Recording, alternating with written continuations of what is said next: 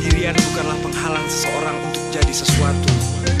Dan tak seharusnya seorang pun berhak mengklaim orang lain sebagai haknya.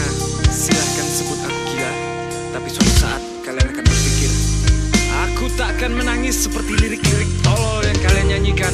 Aku tak bisa hidup tanpamu. Yeah, yeah.